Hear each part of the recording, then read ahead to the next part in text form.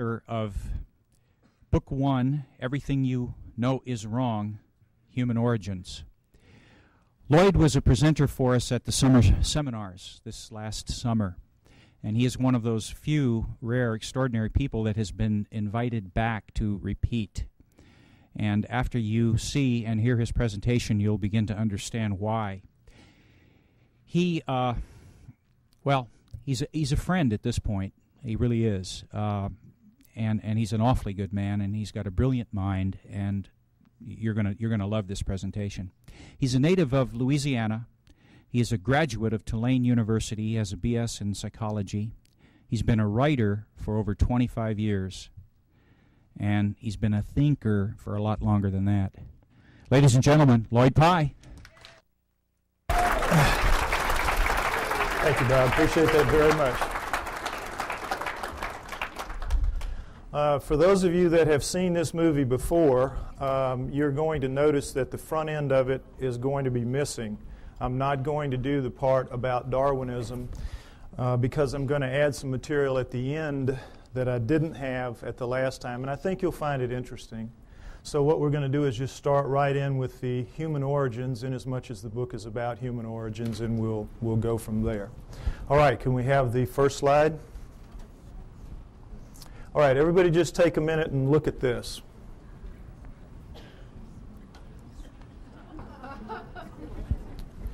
This is, wait, that's right, I don't need to do that. This is what we're all told is how we began as human beings. That we came out of the primordial sludge and step by step evolved into what we are today. Everything in that chain up to us is eat, survive, reproduce. We are what's it all about? We have that incredible ability to say and think, what's it all about? How'd that happen? That's what this is going to be about. What we're told is, of course, that we're a natural flow of things and that with this guy right here, we share a common bond that begins between 8 and 5 million years ago. 8 and 5 million years ago. Reason being, we know that we have upright walking primates of some kind or other at around 4 million years ago. So they just jack it back and figure if we're upright walking at 4, we probably split from a common ancestor with the down on all four apes between 8 and 5 million years ago. We know we were upright walking at 4 because we have proof of it at 3.5. Next slide, please. These are the famous Laetoli tracts of Tanzania, Africa, discovered by Mary Leakey and her team in 1978. And here you see what they are. They're, we're in solidified ash. We have a large pair here, smaller pair here. We assume it was a couple moving along. And we see the, the track here in a blow up is not quite human. Looks, uh, it's different in several ways, but it's human enough to make it very clear that we have upright walking bipedal creatures 3.5 million years ago, no doubt measured by ashfall, which is very accurate. So that's why we jack it back. If we were this upright at 4 at 3.5, we had to be upright at around 4, and that's where you get your dates of 5 to 8 million years ago, the common split, I mean the split from the common ancestor. All right, now next slide please. Here's the depiction of how this happened.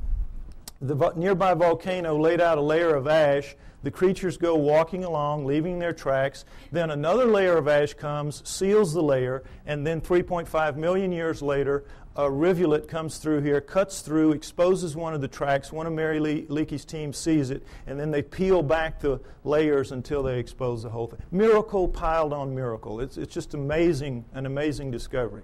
Now, the reason I show you this is I want you to notice that all prehumans that you will see in the books, and go back and you can check, they will show you a head that looks like this one pretty much, grossly, grossly primate in its characters, characteristics rather, because that's what the skulls of all prehumans look like.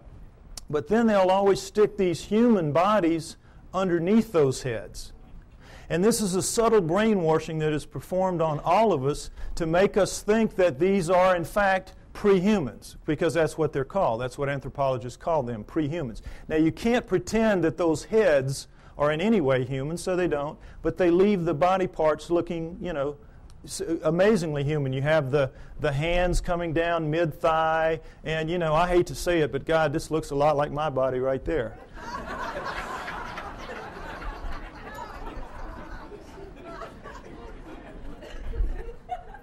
point, point is, we're all being misled by these depictions, and notice them continually. It's, it's the way I'm telling you. Now, next slide, please. Lucy is very famous. Everybody should know her story. Lucy in the Sky with Diamonds, 1974, Afar Valley, Ethiopia, discovered by Donald Johanson and his team. She is the first of the so called prehumans. They are the Australopithecines, and she is one of the first types. Now, what we know from her is a remarkable amount because we have 40% of her body recovered. With mirror imaging, that gives us 80%. So much more than any other fossil at the time. It was just amazing. So we know a lot about her. She stood about 3 feet 6 inches to 3 feet 8 inches tall. Very diminutive relative to us. But her bones, all of her bones, are much more robust than ours. Her upper arm bone here, for example, which is much longer than ours would be if it was a human that size. This, this arm bone it would end about right here. Also, it would be about that thick. So we, we can see she's much more robust than we are in all of her dimensions. She has the head of a chimpanzee, which we cannot tell from her skull, as you can see, but from others like her head of a chimpanzee. But we do know that she walks upright because we have her hip joint and her pelvis, and we have her particularly her knee joint, all of which are amazingly human. So we know she walked upright, no question about it. She was an upright walking creature. Just didn't have bones that looked anything like ours, or a head for that matter. Now, one other thing I want to point out about this is the people that are paid to go out and find these fossils, these pre human fossils, are paid to find pre human fossils. So, what they do is they, they fudge it every way they can to make them look human, and they always have problems with the arms. Because all the arms of the prehumans are too long from here to here, from shoulder to elbow relative to us. So, if you notice what they did is they fudged this way up beyond where it ought to be to get this up here, to get this up here, so they could get the fingertip down around mid thigh when in reality it belongs down around here. Keep these little tricks in mind. This is all part of the subtle brainwashing campaign that is waged against you to make you believe that they're telling it to you straight about how this all happened. Okay, next slide. All right, as I said, these are the first four of the Australopithecines, and Lucy is one of the first kind, Australopithecus afarensis. We have Africanus, we have Robustus, we have Boisei. All right? We have basically a pair of upright walking chimpanzees, upright walking gorillas. You can see that length of face, width of face, and sagittal crest, which modern gorillas have. It's that ridge of bone where their muscles attach to the tops of their heads. So, from 4 million years ago to approximately 2 million years ago, we have a pair of upright walking chimps, a pair of upright walking gorillas, and that's it. Okay? Now, at 2 million years ago, we have a transformation. We are told it is a transition, that somehow the Australopithecines segued into the next creature, which is Homo. Homo meaning man. You will see they are indeed more man like than are the Australopithecines, which are clearly primates, upright walking primates. So, we have this changeover from Australopithecines to Homos, we're told that it is a trans- transition, it is a transformation, as you will see with this slide. Next slide, please. Okay, here we go. Australopithecine, early Homo. Notice, if you will, this is not a transition. This would require 20 or 30 gradual changes to get in from this to this. It is an overnight change. It is just sudden. Boom. The homos are here. I don't mean that like it sounds. Okay, next slide. All right, the homos are here. Here we go. The Homo habilis, Homo erectus, Homo archaic, Homo neanderthal, and then Cro Magnon, Homo sapiens, us. Notice Neanderthal man going back and through the Australopithecines don't look anything like us. Nothing. Here we sit right here. Another transition. Now remember, we had 4 million years Australopithecines, approximately 2 million years. There's some overlap in here. And then here, 120,000 years ago only, boom, here we are. Suddenly, overnight, looking nothing like anything that has come before. The bones of all of these creatures are much thicker than ours, just like Lucy's were. And in every way, the shapes are dissimilar. They do not have, it's hard to tell looking straight on, but they have no foreheads. Their foreheads go straight back off their huge eyebrow ridges, neither of which we have. We have nice forehead here, we have no brow ridges. Huge, round, nocturnal vision eyes. So did the Australopithecines. These are primate eyes. Primates have this kind of eye. Huge, wide nasal passages indicating a big flat nose spread across the face. We've got our little uplift of bone sticking our nose off our face. We have rectangular, small, reduced eye sockets, very poor night vision. A dramatic change has occurred. The upper jaw sticks off the face, ours squished in. Nothing like us. Next slide, please. Profiles show the degree of change is startling. Prognathous mouth, no chin. Prognathous mouth, even more so. No chin, and then suddenly flat mouth, nice chin. Look at the change through here Australopithecine, Homo erectus, Cro Magnon. This is as big a leap from here to here as from here to here in anatomical terms. A light year, a light year. This is not a transition. These are transformations, despite what you are told by anthropologists.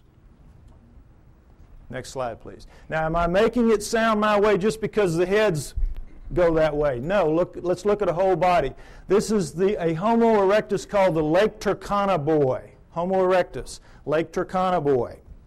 Now, notice, if you will, this guy's about 12 years old. His molars have not erupted yet. He already stands 5'8. He's going to grow to 6'6, maybe 7 feet in adulthood. We don't know how they grew. But already at 12 years old, he is a physically robust creature. Every bone in his body at 12 years old is far more robust, thicker, stronger than any bone in Arnold Schwarzenegger's body today. True.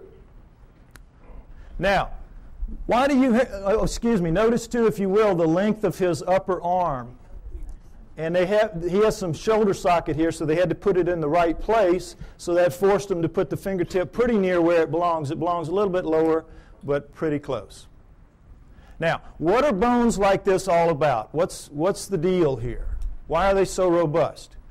Your bones are a function of the torque your muscles can generate your muscles, your bones have to be able to withstand the pressure that your muscles can generate. And if not, your muscles would break your bones. So when you're looking at bones like this, you're looking at an incredibly powerful creature. What are you looking at? You're looking at primate bones, primates of the earth.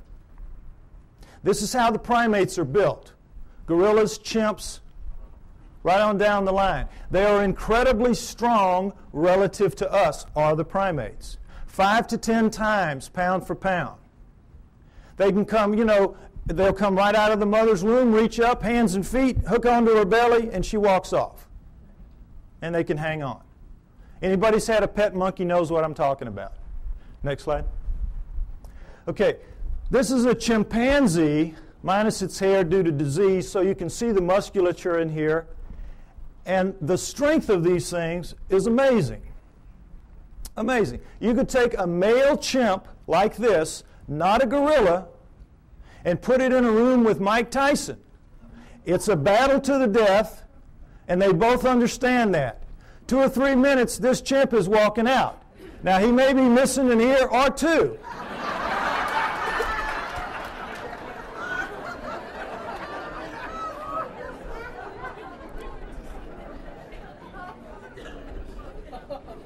But the chimp is walking out.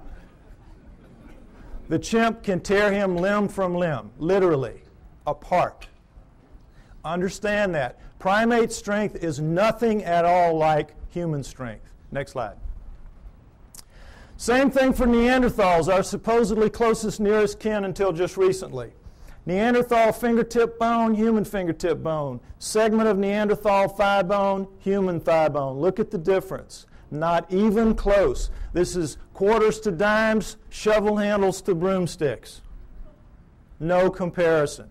Our supposed, and, and we used to be told absolutely, they insisted, they swore. We came directly from those guys. Even looking at this kind of evidence, that is what they insisted. Why? Because they have to explain it in terrestrial terms. Understand that science is hamstrung. They've painted themselves into a corner. They have to explain everything in terrestrial terms. They do not allow for outside intervention, whether that outside intervention is extraterrestrial or divine. And so they have to come up with explanations like this to suit the, the data which doesn't at all support their conclusions. Okay, next slide.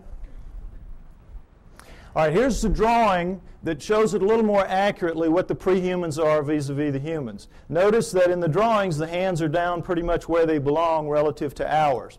Also notice the rib cages are the upside down funnels of primates in the prehumans as opposed to ours. What's the situation there? Well, you can't tell it very well from here, but all of the prehuman heads are stuck on their bodies like that, the way primates are. Their heads are down in on their shoulders. Only we have that elevated neck sticking our head up off of our torso.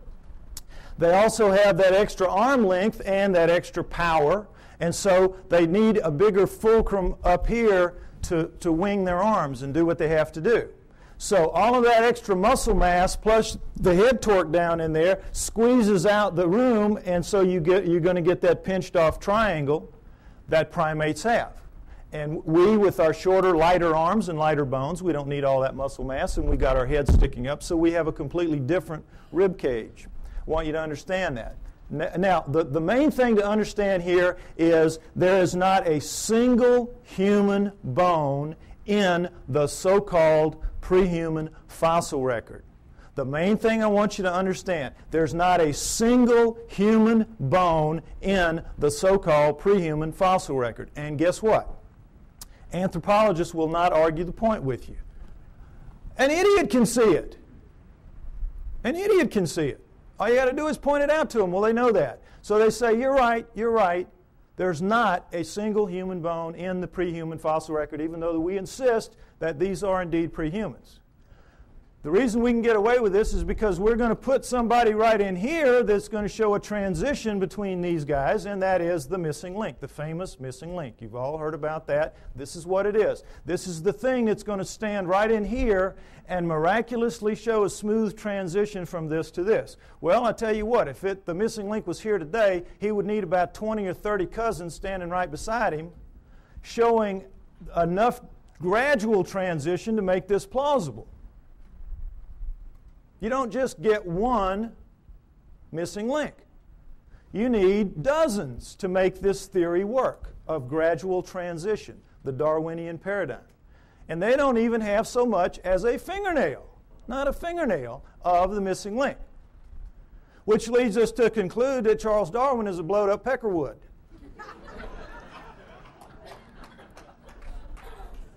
However, they will not concede that fingernail that's missing in that direction. Darwin's still intact, everything's still okay. Missing link's going to show up. It's been 140 years, not yet, but he will show up. Okay, next slide. All right, the throat thing, I want you to get that clear in your mind.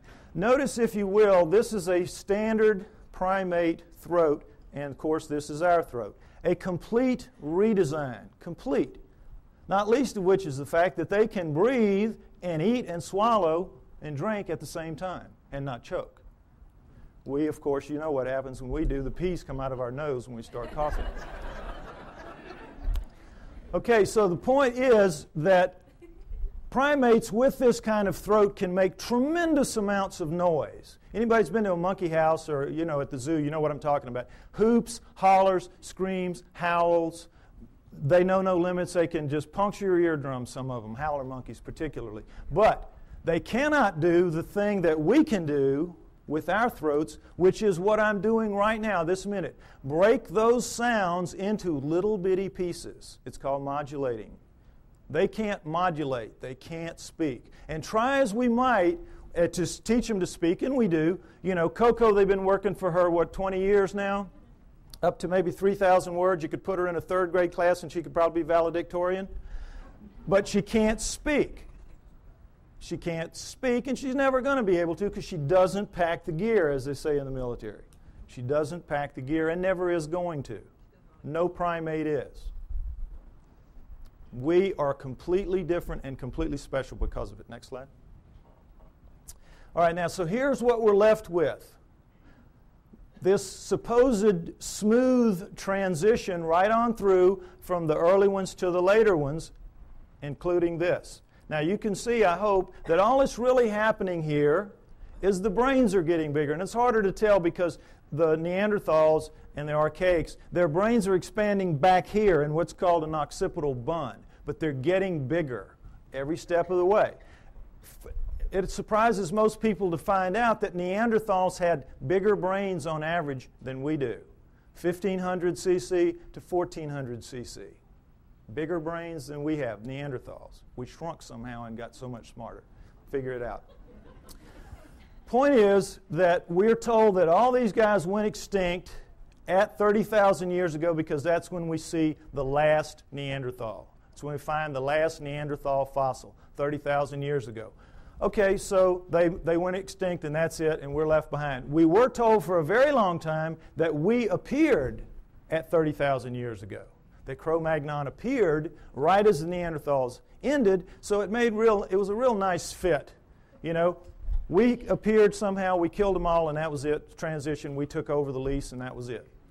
So, the reality then later proved to be that these guys existed at least 120,000 years ago. These guys existed down into 30, so you got this huge overlap of nearly 100,000 years where they're living basically side by side on the planet and not killing each other off. So that one kind of went out the window. So they said, all right, so we didn't evolve from the Neanderthals, we evolved from the Homo erectus. You saw the Lake Turkana boy and how much we look like him. We evolved from him now. That's the new theory. Okay, you can see the problem. Now, did this really happen? Did they all go extinct? Well, why would they go extinct? No natural predators. Meanest dudes in the valley. They can take a lion on head to head and tear it apart. That's how strong they are, and that's how big they were. So, what would, what would make them extinct? Could we do that? Yes, we could. We are vicious little buggers. We are smart. We hunt in packs. We are pack animals. We're hyenas. We're two legged hyenas. And we have a savage territorial imperative. Together, we could kill any of them. One on one, they just pop our heads off like a pimple. Understand that. So, given that, what if what we did was instead of driving them to extinction, we just drove them where they don't make fossils anymore? What if that happened? Is that a plausible scenario? Let's take a look at it. All right, let's look at the Earth first, where these guys will live in. The Earth is divided into geological niches. Um, excuse me, ecological niches. Ecological niches. You have the prairies, the savannas, the grasslands, the lightly wooded areas, primo niches. That's where everybody like us would like to live. You know, it's comfortable. The not so nice niches are the heavy, deep, dense forests, jungles, swamps, bad places like that, where we kind of live on the edges, but we don't really live in the heart of darkness. We think we do, but we don't. So, what if these guys lived in the primo niches, which they did because they were leaving fossils? And guess what? You leave fossils in the primo niches, in the prairies, savannas, grasslands, lightly wooded areas. Why? Because it's very unique that a fossil gets formed of this kind because you have to die in very specific circumstances. You have to get caught in a, in a flash flood so that your body is washed away, covered up by mud, so predators can't get you.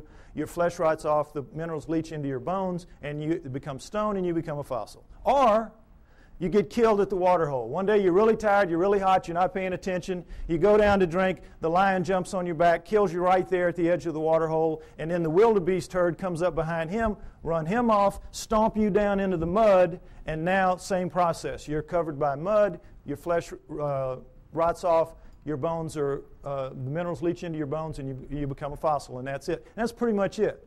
It's very hard to form a fossil otherwise. And so we see how miraculous that process is just to make them in the first place. And then, millions of years later, it washes up, or whenever it washes up, and somebody sees it that knows what it is and can recognize it and can save it. It's miracle stacked on miracle. That's why they're so few and they're so rare and they're so precious because of that. Now, understand this that in the deep woods and jungles of the world, they don't make fossils. Doesn't happen. You get your water out of the environment, you don't have a water hole, you get out of your food and things like that. It will surprise you to know that there is not to this day a single solitary fossilized bone of a chimpanzee in the world that we know about. They just don't make fossils. So, instead of them all going extinct, why don't we just postulate that they lived in the primo niches? This guy arrived sometime prior to 120,000 years ago when he starts leaving fossils. And he issues an eviction notice to all of these get out of town. We're here, we're taking over. And they do, and there'll be some skirmishes. They'll kill a few of them. And these guys, you know, they're not that stupid. They'll figure it out. These guys are bad news. We got to move. And because they're adapted to the planet, they we've seen the millions of years they're here, they're adapted to this place. They can go pretty much anywhere they want to, and so they do. They just walk until we don't chase them anymore, and that's into the deep woods and the jungles of the world. And if that scenario is true, and I postulate that it is, then it would explain the hundreds and thousands of stories that we have from around the world of what?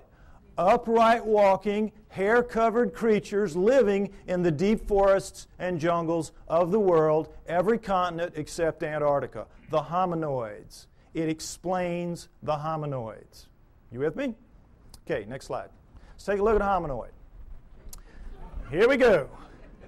This is a statue of a Bigfoot Sasquatch type carved Willow Creek, California. This gentleman's about 5'7. I'm 5'11. You can figure that if that thing was here, be, his head would be up about right here. Okay? There are four kinds of hominoids. Four kinds. We know of two in the West primarily Sasquatch, Bigfoot, this kind, abominable snowman yeti, and then there are two other kinds that are dominant in other parts of the world that we don't know very much about the almas and the Agogwes. Okay? Now we're going to go over them. They're pretty much the same except for size. All right. The Bigfoot Sasquatch kind, as you see, 7 to 10 feet tall, 700 to 1,000 pounds on average. The giants, the big ones, the ones you hear the most about. The abominable snowman Yeti, man sized, 5 to 7 feet tall, 300 to 600 pounds, lives exclusively in the Himalayan ranges as far as we know. Taken together, those five ranges are as big as the United States, plenty of room to roam, but they are not on all continents. The Bigfoot Sasquatch kind is. The third kind, almas, the almas. They are found primarily in the mountains of southern Russia and western China, the Pamirs and the Caucasus, and the Altais and the Tian Shans. But they are also elsewhere in the world, including in the United States. Man-sized again, seven to five, uh, excuse me, five to seven feet tall, 300 to 600 pounds. Fourth kind, the Agogwes, about four feet tall, weigh about 200 pounds. The pygmies of the group. All right. Now, you might remember, ironically, there were four Australopithecines, four early Homos, and what a surprise, there are four types, basic types of, of hominoids. Interesting, isn't it? Now, what they are is this the, the Bigfoot Sasquatch kind live in what is called lower montane forests. Now, in mountainous terrain that are covered by trees, and if you've done any flying in the Pacific Northwest, you know what I'm talking about the lower trees are called lower montane. As you go up, you get into upper montane. The Bigfoot Sasquatch lives in the lower montane. The abominable snowman lives in the upper montane uh, forests of the Himalayas. You get the idea, abominable snowman, he lives up in the snow. Nobody lives in the snow. There's nothing to eat there. They live in the upper valleys, and you see them occasionally as they cross from one valley to the other by going over a mountain, uh, uh the snow part of it.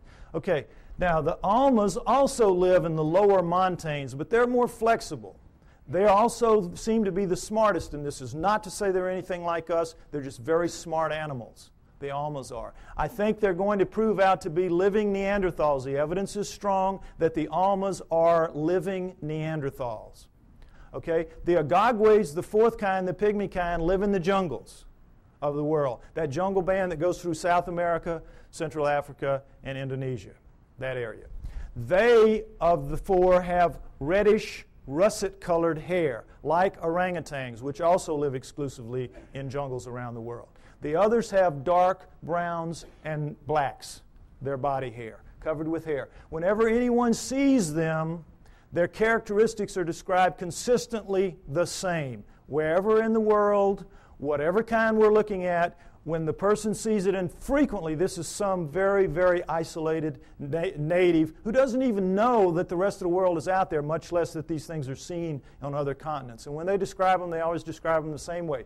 They say, no forehead, huge brow ridges, big round deep set eyes, big flat nose, although this one isn't so big, but big flat nose up against their face, mouth sticking off their face, no chin, head tucked down into their torso, very long arms dangling around their knees, very thick, muscular, robust bodies, and covered with hair from head to toe. Now, take away the hair, and what did I just describe to you to a T? The prehumans. Am I right? You saw the, you saw the skeletons, you saw the bones, the prehumans. What does this lead us to believe? The prehumans are the hominoids. The hominoids are the prehumans. The prehumans are the prehominoids. It's their ancestors, not ours. It's clear to anybody that will look at the evidence. The so called prehumans are, in fact, prehominoids. Now, it's easy for me to stand up here and say this. What's the proof? Well, let's start right here with their feet. They leave tracks. All around the world, they leave tracks. We have upwards of 10,000 or more photographed, plaster casted, or both. No question about it. And guess what? They're all fakes. All of them, every one of them is a fake. Problem being, it's not that they are really in fact fakes, they just can't be real. They can't be real because not only is Darwin a blowed up Peckerwood, all of his followers are. And they don't want to be that. So these cannot be real, even though they are. Now, is, is, it possible that they could all be fakes? All these tracks could be fakes? Could they fool everybody? No. Why? Because we know a lot about it. Let's take a look. There's a science called ichnology. And what, this, what an ichnologist does is he studies the tracks left in fossils by creatures going millions of years back. Show them a fossil, they can look at a print or a track or anything, they can tell you what made it. There's a whole science to it. If you go back into prehistory, all of our primitive tribes, the one thing, the one thing you had to pass on to your children was how to read the tracks in the area and know what they were so that they could feed their family out of the environment and so they could keep from feeding some wild animal's family. Very important. If you took everything we knew about, remember Tonto and those Indians, boy, they could just smell a track and tell you 20 things about what made it. We know about tracks. And this is two of the basic things we know.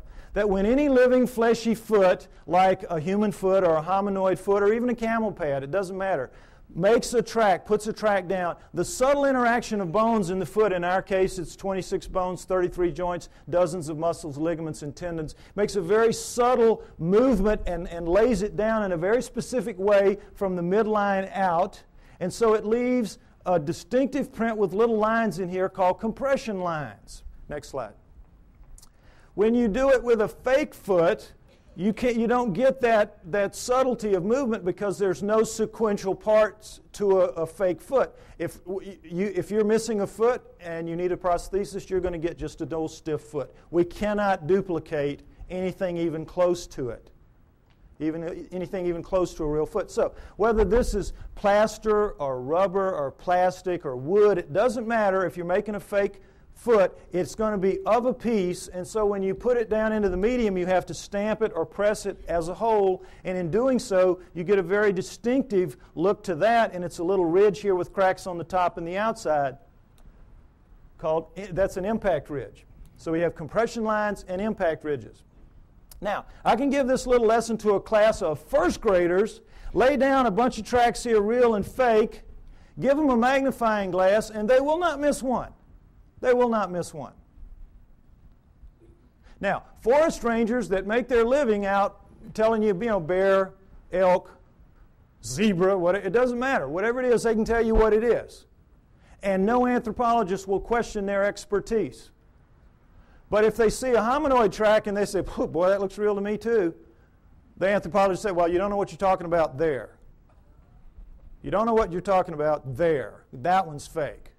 You're wrong there. See how absurd it is? And for the most part, you believe it because you don't expect them to lie to you. You don't expect them to have an agenda that they're maintaining. But they do, and they do, and keep it in mind. Okay, next slide. All right, this is the way a human foot works looks and works. This is, of course, a, a, a good foot, not a flat foot. This is a typical human foot with an arch. When we come down on our heel, we have to swing our momentum around the arch, then cut it over into the ball, which will regenerate some of the lost momentum, and then we come out thrusting off of our big toe. That's how we walk.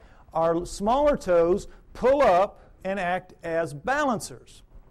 If you notice your feet tonight when you walk around, notice how that works. Your big toe will go down, your other toes, toes will pull up, and it will leave in making a medium an undisturbed ridge of medium here, in making a track rather, an undisturbed ridge of medium right here, but this, of course, will be squashed. Very distinctive print, no question about it. Now, guess what?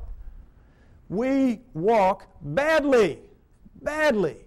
When you do time and motion studies of us walking, we're, we're keeling around as we're swinging our momentum through our feet. We're locking our knees. We're basically throwing ourselves through our hips. Whoever, do, that's why our joints wear out as we age. Our knees and our hips. We're using them badly. We walk badly. Whoever designed us needed to go back to the drawing board a couple of times more. They got lazy. It was a mistake. Okay, with that in mind, next slide. Let's take a look at a hominoid track. Typical hominoid track. This is Bigfoot, 16 inches long, but taken in that really nice powdery dirt you get at the end of a hot summer, so it's a very clear, distinct print. Notice, if you will, the differences. We have a midline about right here, ankle shifted very far forward, heel extended back here and very much widened, forefoot shortened very much and widened, all five toes looking about the same shape, ironically, square, and all five toes acting as balancers because you have medium all the way through here. So you're getting the forefoot thrust coming out completely of the ball area, which is dented in, and it's like a two part motion, sort of. So they have a completely different foot. It's a completely redesigned foot. Why? Completely redesigned creature. Much bulkier, much heavier, much denser, much more robust. So you need a different kind of foot. No arch is going to support that kind of weight, so you have no arch. Now, the funny thing about most real, quote, fake tracks is that the local yokels who make them make big human footprints and go out stamping those around. So, you know, immediately, they don't even have sense enough to know you got to do it, compl- you know, make a completely different foot. But the main thing to notice here is remember in our motion, we walk here, we go here, we do this, we do this, and we're very awkward. Look at the line of thrust here. Straight shot. What does this tell us? He walks right. He does it better than us. He does it the way it's supposed to be done, he or she. Does it the way it's supposed to be done. Isn't that interesting? Next slide. Okay, this is something else that the best hominoid tracks have dermal ridges. Now, it's kind of hard to see, but dermal ridges are your fingerprints on your feet. Fingerprints on your feet. This is why they take a baby's footprint when it's born. Fingers too small to deal with, just stick its foot on. Same thing. Individual, unique. Dermal ridges. And there you. Oh, I think my battery's running out. Oh, no. It's there looking No, when I put it down here, it goes out. I may need a replacement part here if anybody's got one. Yeah, I know, but it, I think it's just because I shook the battery a little bit. All right, anyway, point is that whoever is making, whoever's faking these things out around the world, thousands of them, is taking the trouble to make articulating feet that if they would just put on the market, they could make a fortune in the prosthetics industry. And then they're taking the trouble to incise dermal ridges when lasers would have a hard time doing this. I mean, criminals, if this was easy to do, criminals would get their fingerprints fixed, would they not? Instead of cutting them off. Lasers really couldn't do this kind of work, I don't believe. Oh, okay. Okay. Thank you. No, I got it. I'm going to go with this one for now. Okay. So, you with me? It's a conspiracy to end all conspiracies, this making the hominoid track conspiracies. What I'm trying to get you to see is that is in fact absurdity piled on absurdity that they're asking you to believe. And again, for the most part, you do believe that. Most people who came in here today probably believed everything that the tabloids have to say about the hominoids. Problem being, if the hominoids are real, what does it mean? We are off the flowchart of natural life on Earth, and they don't want that to happen neither science nor religion. So in this instance, they hold hands and walk down the path together. Okay, next slide. All right, check this again. Comparison Bigfoot track, plaster cast, human foot, just to get this in shape in your mind again. Next slide. All right, another pair of hominoid tracks, as you can see. These are so grungy looking on the soles because they were taken out of clay as opposed to dirt, as you saw earlier. But in every other way, they're, they're hominoid tracks, are they not? We found, you know, they're found together, so we assume it's a male and a female, like the two that we saw walking along at the Laetoli tracks. Right? Would everybody agree? This is as hominoid as it gets, right? Wrong! Guess what these are? Neanderthals. These are Neanderthal tracks, absolutely and without doubt. Toirano, Italy, a cave 30,000 years ago, Neanderthal artifacts all over the place. Neanderthals bona fide. Now, what does this tell us? It tells us that the Neanderthals for sure are hominoids because they got hominoid feet stuck on them. Plus, they got hominoid heads stuck, as you saw from the skulls. Furthermore, we can assume, I think, fairly, that every one of the ones we saw earlier, all the way back to Lucy, four million years worth, had feet just like this and were in fact hominoids. The track you saw at Laetoli, remember the one down in the corner? It looked a heck of a lot like that, didn't it? The hominoids are the prehumans. That's the point I keep trying to make. Now, I'm extrapolating a little bit here. I'm taking a little risk because we don't have the feet nor the prints of any other prehuman. We just have to go with logic.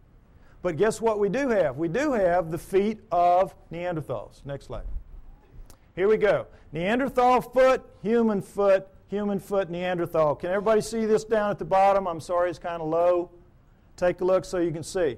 Stand up if you have to, be like a football game.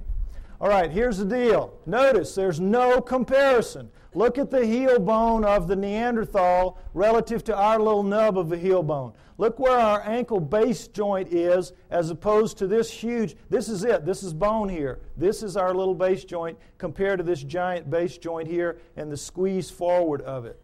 Notice, if you will, the great foreshortening of the forefoot and the widening of it relative to ours. Look at the skew. You can see the skew in the foot. See how squared up and solid that is like a rock. Look how much our big toe dominates our little four toes and how much these are much the same.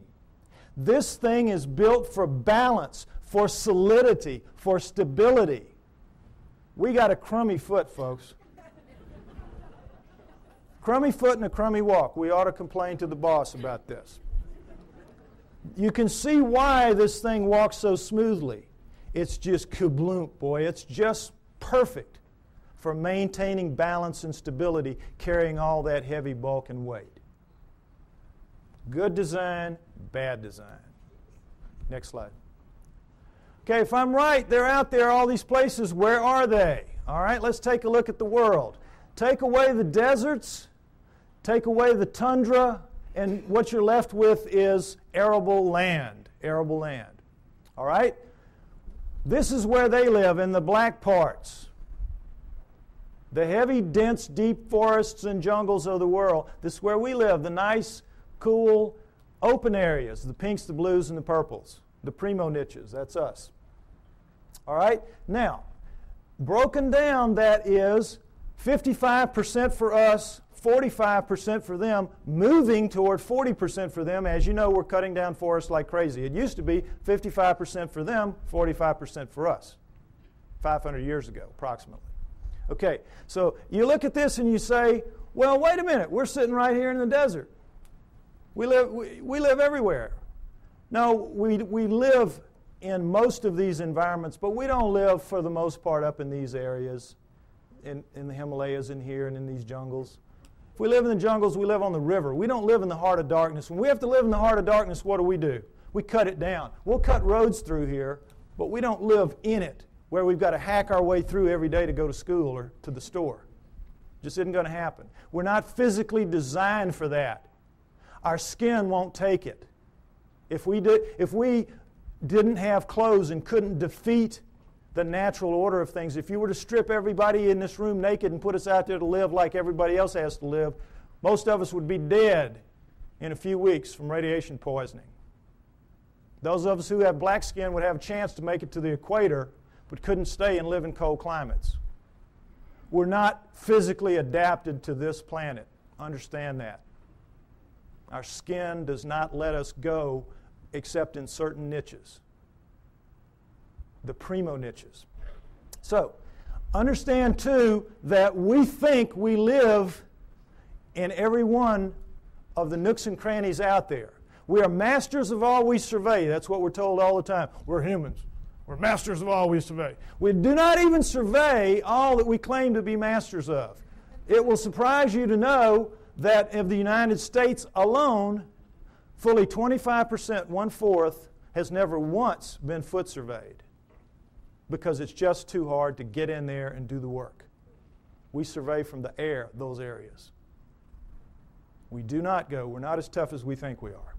Now, also understand that the hominoids are not just restricted to these areas, they move wherever there are forests. These are their, their real stomping grounds. But they go anywhere that there are forests. They use forests like highways because they are migratory animals. They migrate, they do not hibernate. They move with the seasons, and they use forests as their highways.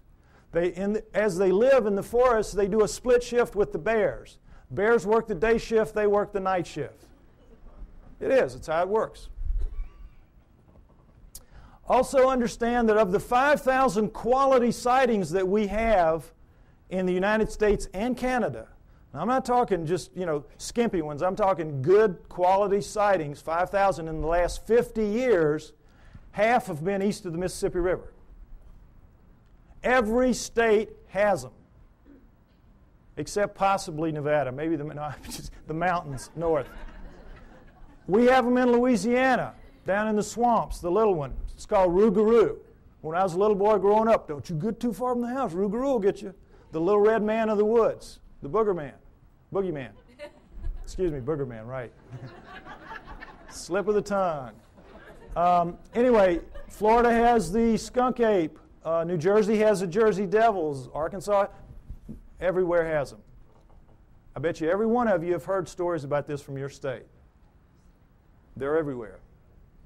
And it's the same around the world. They share the planet with us. Okay, next slide. So, you say to me, well, okay, by George, we're humans. Why don't we just go out there and get one? Even so, we can do anything. Why don't we just mount up and go get one if there's so many of them out there? All right, panda is a perfect example of what the problem is. The panda was last century's hominoids. Rumors would come out of China of this black and white bear that ate bamboo and of course, every PhD in the world sitting behind his little desk does not even have to get his fanny up out of the chair to say, well, forget that. They, we know they have black bears, we know they have brown bears, we know they have white bears, but they're all carnivores. No vegetarian bears, you kidding us? Ridiculous. And then in 1869, a French naturalist goes to Sichuan province, China, and sees the hide of a freshly killed one hanging on the wall, and he knows they're real. So every zoo and museum mounts up the expeditions that you would like to see mounted up today to go out to find the next panda and bring it in. Serious. Now we're talking Sichuan province, uh, an area the size of the state of Arizona, very mountainous, hilly terrain, difficult terrain covered with bamboo rather than woods, but in every other respect, like the environment that hominoids will be found in. How long do you think it took those teams? And this is back in the 1800s where people really knew their way around the woods. How long do you think it took? 60 years. And quit, quit giving away my punchlines. Don't do that anymore. 60 years. 60 years. Those of you who've seen the movie do not give away the punchlines. Okay. Now, it sounds like a gross exaggeration, and it is. They only looked for about 30 years. This is where Ivy made the mistake. They only looked for about 30 years, and then they gave it up. And they said it has to be extinct now. And then 30 years later, Teddy Roosevelt's sons are out there doing some sport hunting and they kill one. Okay? So then they mounted up again, knowing that they, it's for real now. And because they had learned so much in the interim, they began to get them. And over the next 20 years, they brought in six. And we have the panda craze, you know, that we have today. But even to this day, they're extremely difficult to go out into the wilds of Sichuan province, China, and bring in a wild panda. Now, what is the panda doing that makes it so difficult to get one? Well, as you can see, it's very brightly colored and stands out very distinctively against its green background. It lives during the day. It eats a very restricted diet, bamboo. It's very slow moving. You see them move in zoos. They're as stupid as a bag of hammers. They can't even reproduce in zoos. Can't even find each other and, or figure it out. I mean, how, how stupid do you have to be? Anyway, point is, they're not doing anything. They're living their lives, and the problem lies with us. We can't hack it in their world very easily. We think we're masters again of the world. We're not. We're not. And where they live is where the hominoids live. And the hominoids are bigger, faster, stronger, operate at night, eat anything in their world. They can hear better, see better, and I'm absolutely sure think better than we can. We're not going to just mount up and go get one because we've tried it many times and it hasn't worked. We're only going to see them by accident, encounter them by accident. And that's when it happens, and it happens a lot. We have good evidence on record of these encounters. Next slide. We're going to go over a few. The famous Patterson film, Roger Patterson took a film of a female hominoid walking along a creek, creek, bank in 1967, October. You all saw this, well, not all, but some of you saw this recently on a television program called World's Greatest Hoaxes. All right? That itself was a hoax. That program was a hoax. I, I wrote a long email about this, and it's on my site if you'd like to read it, www.lloydpye.com. It's a defense of the Patterson film showing what they did not talk about in that program trying to make this film look like a hoax and pick on it, as people will do occasionally. There's no doubt that this is a bona fide film for a number of reasons we're going to go over. All right. First of all, it was a bright sunny day, as you can see. What happened was the sun was shining such that it was glinting off of her shoulder and thigh as she walked, and you could see her muscles rippling in her shoulder, in her thigh as she walks. In good slow mo close up, you can see that, which they did not provide in that, uh, in that program. All right, if that's a person in a suit, the suit has to be glued to naked skin. In the gluing process, you lose that flexibility, that ripple. The only thing that looks like this does in this film is real skin under, I mean, real skin over real muscle working. So we could stop right here, it's real just based on that right there. But we don't have to stop. The arm, if you've all seen her walk, she walks along like this. She drags her arm down around her knees where everybody says, you know, the hominoids do. Why? The elbow articulates right here, which is much longer from shoulder to elbow than a human. If that's a human in a suit, impossible. You can't get an elbow bend at the same point. So we could stop right there. Solid proof that that's not a human being in a suit. But furthermore, Jerry Romney, the guy they said was in the suit, they stuck him with breasts. What would they do that for? Why go to the problem? Why go to the trouble? As she walks along and she turns back to face him, you see the breasts sway, and she takes a couple of steps, and you see that nice jiggle that we all know. if it's a person in a suit in 1967, it's going to be those early silicone jobs. Remember those? Absolutely real right there. Furthermore, she left tracks in the hard packed sand of the creek bed. One inch deep, we have pictures, we have casts. That cast you saw earlier of the cast in the foot, that was her foot. No question, inch deep, walked a 200 pound man beside her not long after. He sank about a quarter of an inch. So we know that as she stood there doing this, she weighed 600 to 800 pounds. Fake that. That's got to be a real lead line suit. 600 to 800 pounds as she walks. So we know that it was a legitimate film. Furthermore, as they pointed out in the program, with the fake films, they can never tell you where it happened and who did it, who took it, because they don't want that guy to be grilled and they don't want experts to go and measure one limb here and know how long, how tall it really was. What Patterson did was he went right out fast as he could and begged every expert in the area that he could call, every anthropologist and zoo person, come out, bona fide sighting, please bring dogs. And you don't want to bring dogs because these things have a very powerful body odor that even, even tracking dogs will recoil from. If it's a person in a suit, it's like the suit's not even there, the dogs are after it. Patterson did, of course, no expert came. Needless to say, they never do. You can't get them to go because they know what will happen. A young man named Grover Krantz went out early in his career as an anthropologist, took a look at one, and he said, It looks real to me. And it's 30 some odd years later, and I think he's still trying for tenure. They've made a tremendous example out of Grover Krantz for what happens to people who side with the enemy in this issue, which is a very volatile, very sensitive issue. Okay? So no experts would come, needless to say. Patterson did everything right that he could except film something that could be real. Other than that, he was great. Okay, next slide man named Albert Ostman, picture taken in 1957, talking about an event that occurred to him 33 years earlier in 1924 when he was a young man, a timber cruiser in the woods of southern British Columbia. He's taking some time off. He's out looking for gold mines, lost gold mines. He's sleeping in his sleeping bag one night, and suddenly, Big Hand picks him up, shoves him to the bottom of the bag, slings him over its back like Santa's bag of toys, and scoops up his camp stores with the other hand and walks off with him. He is captured by a Bigfoot. He has marched for about an hour. He's got barely enough room at the top of the bag to breathe. The hand couldn't get quite around the bag, so he had enough room to breathe, but he stuck down the bottom of it.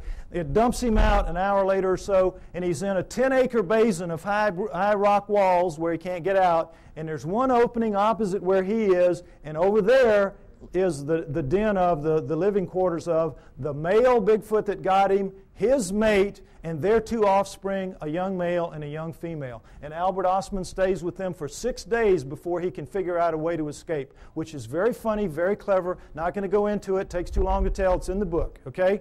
But he gets away. The point of the story is not how funnily he escapes, but that he doesn't tell anybody for 33 years. Keeps it to himself, thinking everybody would think he was crazy, which they would do.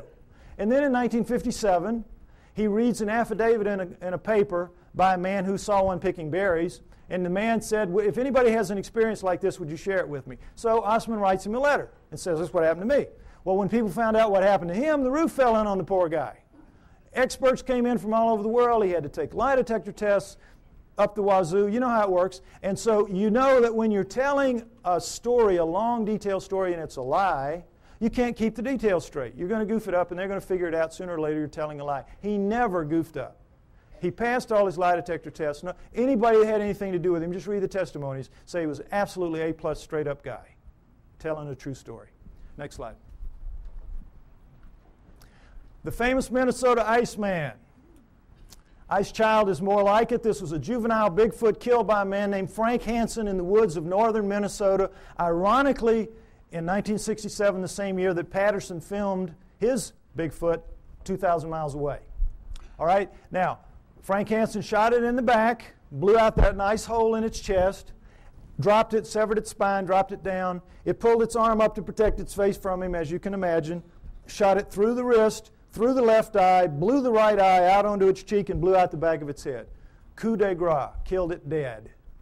At that moment, 1967, Frank Hansen could have changed history. He could have taken this thing, crammed it down the throats of science, and we would not be having this discussion today. We would all accept hominoids as a reality from that point forward. No problem.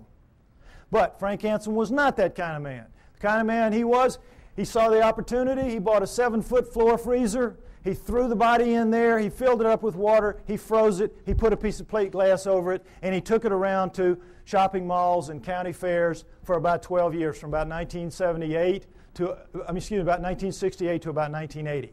Did anybody here besides me see it when it was out? There's always people that saw it. Okay, so they can tell you that it was the real deal. Okay? Now, what you saw if you went and paid your buck to see it was this thing laid out, and you could see it's kind of snowy, milky ice right here, but where you could see, you could see it was like glass, it was like air. It was clear. You know how ice can be. So, you could see very clearly that this was an ex living dead thing laying in front of you. But don't take my word for it. Take the word of a man named Ivan Sanderson. When Frank Hansen was trying to get publicity for this, he allowed Ivan Sanderson, a true zoologist and a great cryptozoologist, to study this thing for three full days. Very powerful lights, the whole works. And Sanderson wrote this tremendously detailed technical report about it, much of which I quote in the book. You read that, you will know the man knew what he was looking at from a technical zoology standpoint. I'm looking at it just with layman's eyes when I'm a young man, but they're perfect eyes, astronaut eyes. So I'll tell you what I saw. What you could see, what anybody could see, because the knees were almost to the top of the glass, is that every hair, it's, it, you know how hair floats in water? This is not our hair, this is primate hair, two to three inches long. It's sticking off, it's, it's like a pincushion off its body. You can see right down to its skin wherever you look. And wherever you look, you're looking at what amounts to a small pencil lead hair, round tucking into a pore, perfectly tightly round. Wherever you look, millions of them, wherever you look. Now, what we're told is this was just a wax and rubber dummy made up by a, a charlatan who was out to just take advantage of people, right? Ask anybody who works in the rubber, I mean wax museum business, and they'll tell you the one thing you can't do well is hair, because to get the hair right, you got to punch it in and you, with a tool, and you got to pull that tool out, and it's going to leave a little nick mark around the hair. None of that in this creature. None. But the thing that really impressed me the most, and I'm sure everybody else will verify this, is you know when you kill a, a deer or something, you let it bleed out, but for a long time after it oozes that pink kind of fluid. You scrape your elbow for women who don't deer hunt. Scrape your elbow, you know, and after a while you're still oozing that pink sticky stuff. Well, that's it was still doing that when he when he froze it, when he put the water in. So as the water was freezing, that stuff was coming up in tendrils, ribbons, pink ribbons of that sticky oozy stuff coming out of every wound, out of there, out of the mouth, out of the nose. You know, when you have a traumatic head injury, you bleed out of your nose and your mouth as well, out of both eye sockets, out of the wrist. Bones were, little pieces of bone were sticking out of the wrist. Every one of those, and those ribbons went from down as deep in the holes as they could get up to the surface, and they spread out in little pools, little circles at the top of the ice. Now, I defy anybody making a fake to even think to do that, much less pull it off and make it look so real. This was the real deal. Next slide. Perhaps the most interesting story of them all, Zana from Russia, an Alma. Remember, I told you that the Almas were also man sized, 5 to 7 feet tall, 300, 600 pounds, and they're dominant in Russia and the Orient. This is Alma, the living Neanderthal. This is one of them right here. This is Zana, is an Alma, was an Alma. Now, understand this. In the Orient, the tradition when one of these things is captured for whatever reason, was to kill it immediately, desiccate its body, and sell its body parts for medicine, principally aphrodisiacs. That's the Oriental tradition. In the Russian area, though, when they would be captured, male or female, they would be used as slaves, physical slaves, held, spirits broken in these uh, primitive villages where they would be, and they would be used to carry wood, fetch water, uh, do the haying, all the heavy work nobody really wants to do. Make the slave do it. And so that became their fate. And for females, another aspect of it was they had to become the sex slaves of the men of the area. And that was one of the other great advantages to having a female. And so, this is the fate that befell Zana in about 1850. She was captured as an adult in 1850. We do not know how old she was. She was an adult. She was taken to the village of Tkhina, where they kept her in a hole for about three years until her spirit was broken enough to let her wander around. She was dependent on them for food, and then they began to train her to fetch wood, fetch water, do the things that she had to do. And she became like the village pet for 40 years. She died in 1890. Now, how do we know this? Because in the Orient and Russia, they don't have the same tradition that we have. They're very old countries. They've been living with this for a very long time, for centuries. They know they're real. They send research out, researchers out taking information about it. They send teams out trying to find them, or they used to when Russia had money.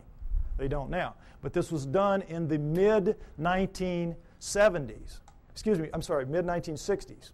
This research was done, in the mid 60s. So, in the mid 1960s, this was an area of Kazakhstan where she lived where people live very long lives. You know, those p- places in the world where people live up around 120 years old? So, they had over 100 people above the age of 80 that had known her quite well in their youth. There were 10 still alive who had attended her funeral.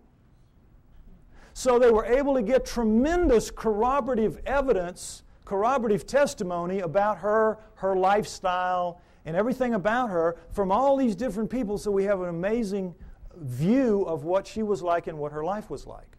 Uh, again, a lot of which I go over in, in the book. But the main thing is that she never learned to speak, but she learned the language. They could talk to her and she'd know what they meant. And while there, she gave birth eight times to hybrids with men of the village eight times. Killed the first four accidentally because her kind apparently washes the newborn off immediately. She would take it to the freezing glacial river that ran through the village, and because they had so much human in them, it would kill them. So the last four, the village women took them from her at birth and raised them on their own because he looked so human. And every pair of hands was very valuable in one of those primitive villages like that. And so they raised them up and they became Russian citizens. Married, had children, her great grandchildren are alive in Russia to this day. I know it's an amazing story. Now, what do people say about her children? Well, the, everybody said that they were indeed taller than most, bigger than most, ro- a little more robust than most, but not giants, not superhumans, just strong, you know, big and strong people darker skinned than most, but not, not truly Negroid. Hair like, you know, everybody, but not covered in hair like she was. Average intelligence, not, not wizards, not stupid.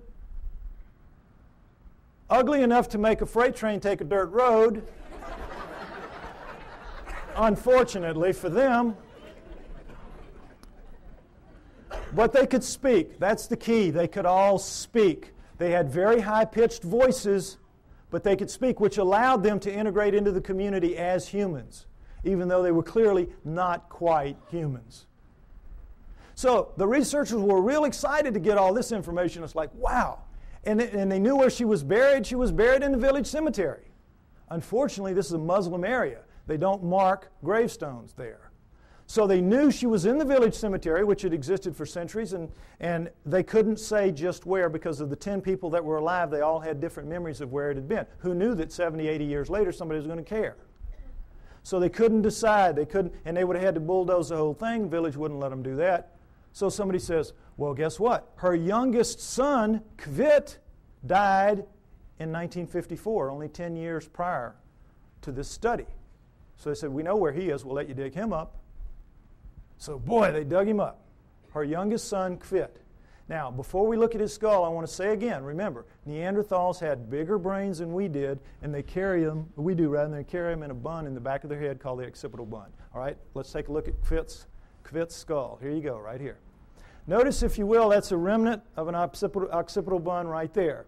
Notice how much of a forehead he doesn't have. Look at the size of these brow ridges. Look at that eye socket. Is it starting to look familiar? Look at the size of that nasal passage. Look at the size of these teeth. Look at the size of that jawbone. Look at the size of the cheekbone. But look at that chin. Allows him to speak. This is an ugly dude, kids. this is a Neanderthal, basically. This is a guy you do not want to meet in a dark alley. Now, what, of course, anthropologists say is that he is an extreme variation on the human norm, an extreme, real extreme variation on the human norm. But that's how they explain it. Okay, I ask you to take my word for it. Hominoids are real. They live with us today. They have always lived with us. It is their planet. They are the native, indigenous, upright walking primate of planet Earth. There was a split somewhere between the down on all four primates and the up on two feet primates, but we're not the one. The prehumans are the prehominoids. Go with me on that. Now, if you do, what it means is, as I said earlier, we human beings do not have a place in the natural scheme of life on earth. And that's a problem. So if we don't, where did we come from? Why and how did we start leaving fossils on the planet at only 120,000 years ago? All right? Unlike Alan, the speaker you saw earlier, and perhaps unlike some of the others you might hear later, I, I have my own opinion. I don't necessarily agree with him. You're here to evaluate what we say and decide on what you believe. I am a Sitchin, a pro Sitchin person, as you will see. Okay? I have studied, and in part four of my book, I base part four on the writings of Zechariah Sitchin and the ancient Sumerians, because, next slide, I believe that the answer to where we came from is, in fact, going to be found in Sumer, ancient Sumer. Modern day Iraq, Tigris Euphrates River, Zagros Mountains, the Fertile Crescent. And the Sumerians are the first great culture that we know to come out of the Stone Age. At around 6,000 years ago, they appear full blown, boop, everything. Uh, over a hundred of the first that we attribute to a high culture the Sumerians produced. Now, logic would tell you, and certainly the Darwinian paradigm of simplicity leading to ever more complexity would tell you that the first culture out of the Stone Age is going to come crawling out of the caves on bloody hands and knees. Are they not?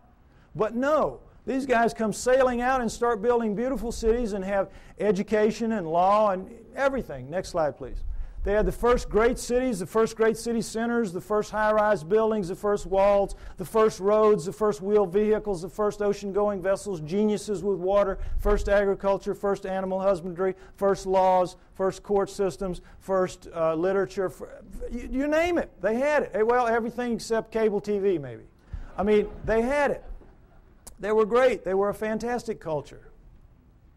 And the Egyptians, Greeks, and Romans come from their, you know, their culture. Those, those cultures developed from what passes down from the Sumerians, or at least out from the Sumerians, I believe. Okay? So, one of the things that they, one of the many things they had at first was writing. Now, this is what we're all taught. We're taught nothing about the Sumerians except that they invented writing. Again, they appear, boop, invent writing, boop, disappear, and that's it. History forgets about them. You never hear what they wrote you never hear what they wrote. And you never hear how sophisticated they were because, again, it doesn't fit that paradigm. It's easier to just start with the Egyptians, Greeks, and Romans and move on from there. Okay? What they had to say, next slide, in their writings, they had, their writing, by the way, was cuneiform, very sophisticated math based writing. And by the way, their mathematical system, called sexagesimal, based on the number 60, is better than ours for using very small numbers and very large numbers. And they kept time around the great year, 26,000 years. How'd they figure that out? Among other things. But in their writings, most of it is like these little hand things where it's just bills of lading. I sell you this, I'm buying that from you. It's like our paperwork. But they have a lot of them, about 5,000 of the 100,000 or more that we have, that have to do with stories of their cosmology, their cosmogony, their history, where we came from, how the solar system formed, and all that. And that's what we're going to go over what they had to say. Where did it come from? Well, originally, when these things were being translated in the late 1800s, early 1900s, when, when the translators would read what they'd have to say, it was like, oh, come on, forget about it. Put them in the myth. These are myths. They have to be myth. It can't be true. And they put it in the myth, myth pile, which Alan was talking about myth. So, Zechariah Sitchin, a man named Zechariah Sitchin in the 1950s, says, gets the idea wait a minute, how does the first culture get a myth? Who hands it to them? Good question. Why didn't anybody else think of that? So, he assumes it has to be a history. They have to be telling a history, which then later gets distorted perhaps as myth by later cultures, but the first one's got to be a history.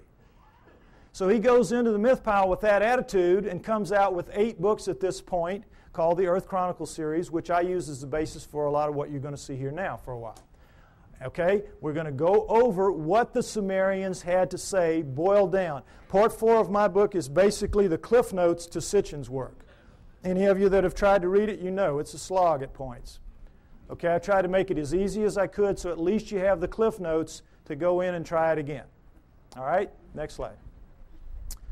Here's what they say that originally, as the solar system was forming, there was the Sun, Mercury, Venus, Mars, and a big planet called Tiamat, right where the uh, uh, asteroid belt is now. And if you know about Bode's Law, there's supposed to be planets at certain places of a certain size, and it all fits reasonably well except for the asteroid belt where there should be a planet, and there isn't. But there was Tiamat then, Jupiter, Saturn, Pluto as a moon of Saturn, Uranus, Neptune, and into that forming solar system at around 4 billion years ago, which we extrapolate and assume because all of them were still very plasmid, still very much lava ish, able to pull moons out of themselves. And we know that the solar system formed at around 4.6 billion years ago. So, at around 4 billion years ago, would have been the time approximately when this would have happened.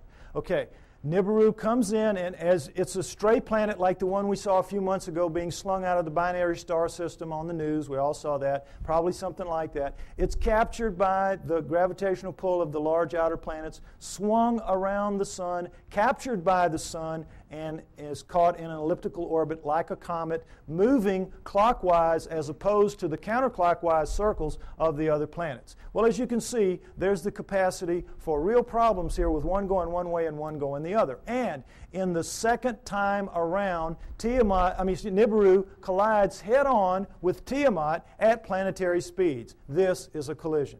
Okay? Next slide. This whole thing now is described in the great Sumerian epic of creation called the Enuma Elish, which is six tablets of action, one tablet of summation, which is taken to be by many people the basis for the six days of creation and the one day of rest. Because much of the Old Testament is a direct come down from the Sumerians. And if you know the Sumerian history and read, you read your Sitchin, you will know that, or, or my stuff, you will see that that is the case. Now, in that great epic of creation, the Enuma Elish, six, six of the major puzzles of modern astronomy and earth geology are, I think, plausibly answered. You heard Alan's interpretation of some of it. I'm going to give you mine and give you the, the basic Sitchin um, explanation. Okay? What they say is that in the collision, Nibiru slams into Tiamat. It is a little more held together. It's older, and so it is coalesced more. It holds together. Tiamat is shattered in two, blown apart, torn in half.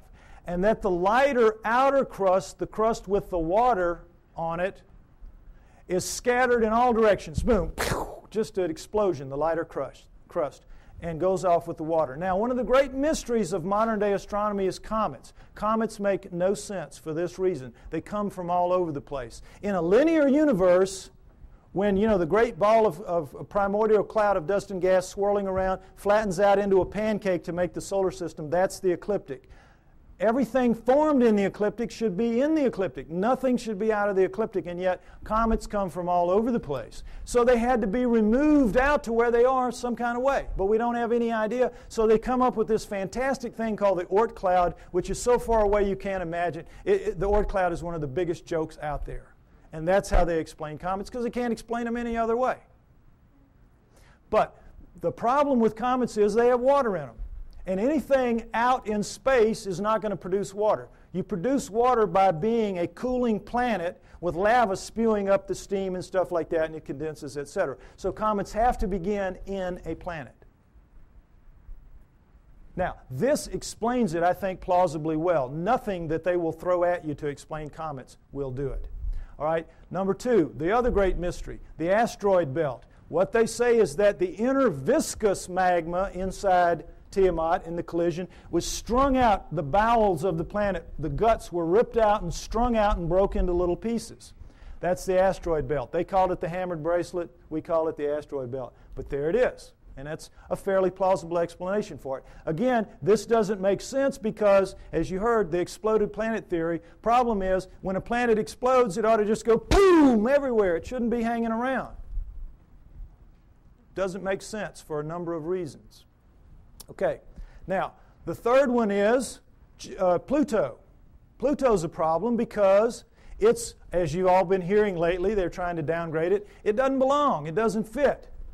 It has an orbit that's not like the others. It carries inside the orbit of Neptune, and it's 17 degrees off the ecliptic. Again, nothing should be off the ecliptic. What they say is that Nibiru, as it swung around, it pulled Pluto away from Saturn, its original home, and dropped it out where it is now. Now, all astronomers know Pluto is not a natural planet. It got, it started life as a moon of an inner planet. They know that.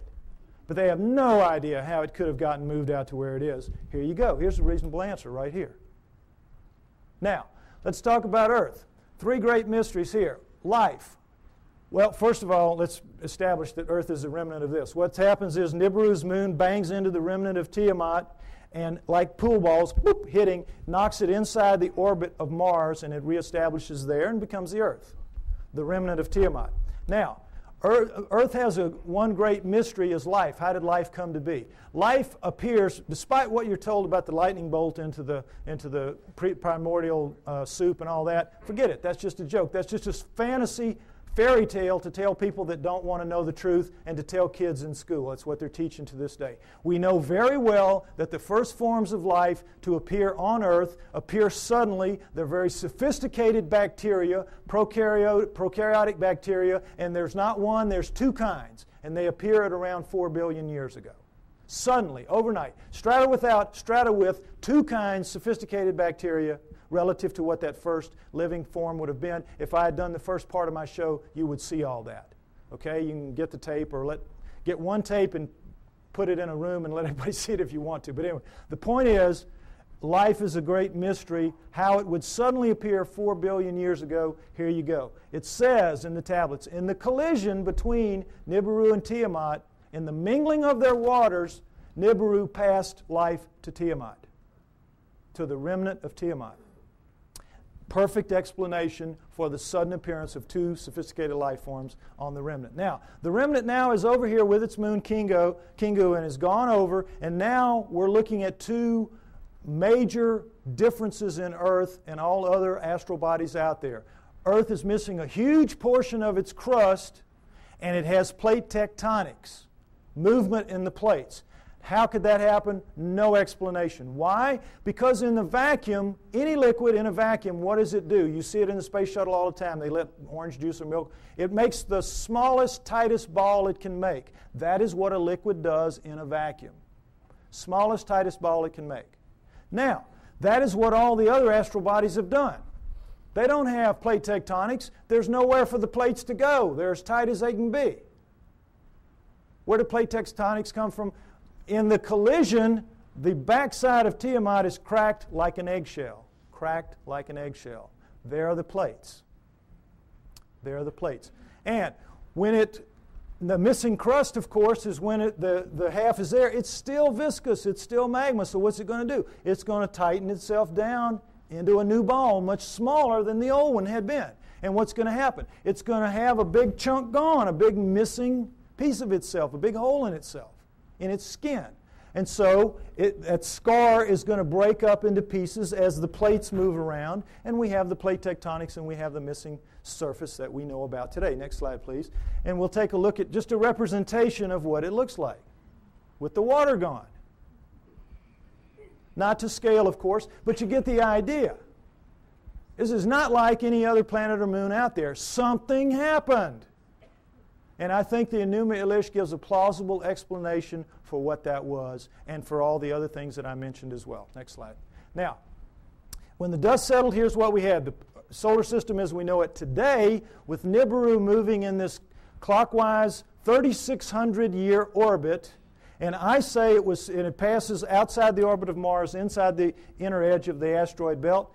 And the last time with through, I think, was around 200 BC, which means it's just past aphelion out here, and it's going to be back around 3400 AD, about 1400 years. We don't have to worry about it if I'm right. You will get arguments about these dates.